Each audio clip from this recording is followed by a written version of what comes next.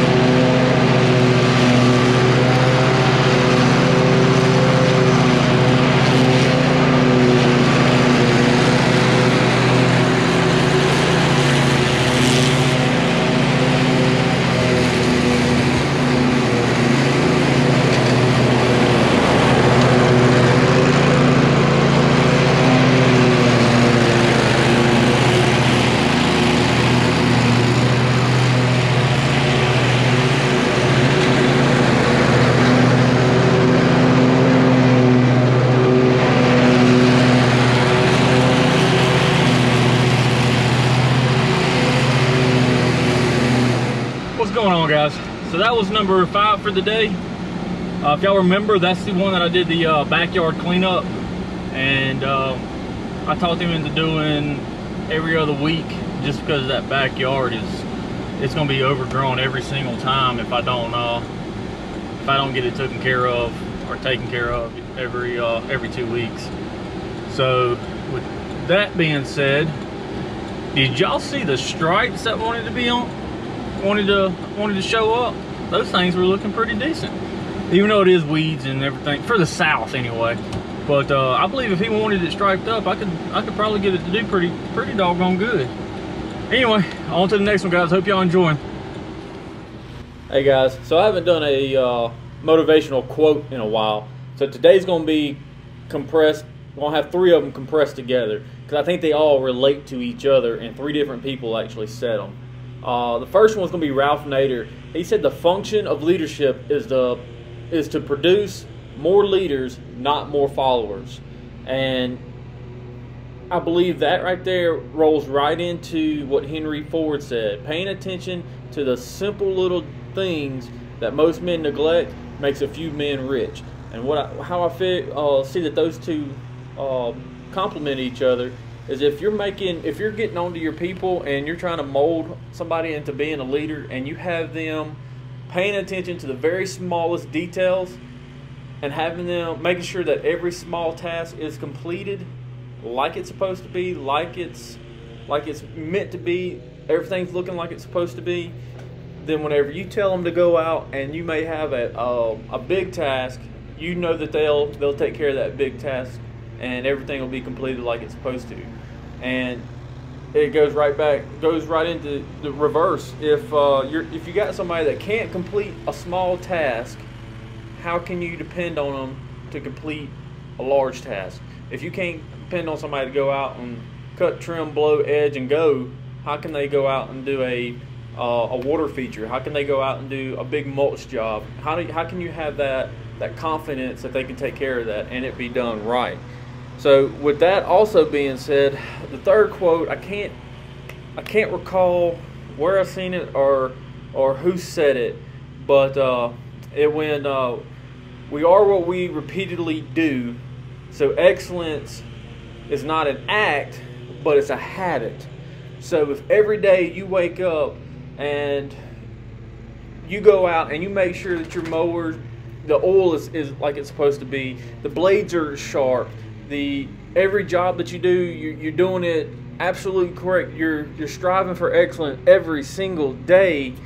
Then it's not just an, an act. You're not just it's not just something that you just get up and do because you know you think you got to do it it becomes a habit it's like breathing like if you don't do it you can't you can't focus you can't you can't go throughout the rest of your day it's kind of like yesterday's video i said i saw that one weed sticking up i could have simply just drove on past me all right it's just one weed but the excellence of me is going out there picking that weed up by hand getting it out the way so that it looks good guys that's going to be my motivation for today i hope this helps one of you if it does hey, great. I hope y'all go out and crush it. And uh, y'all finish watching the video and enjoy. Thanks.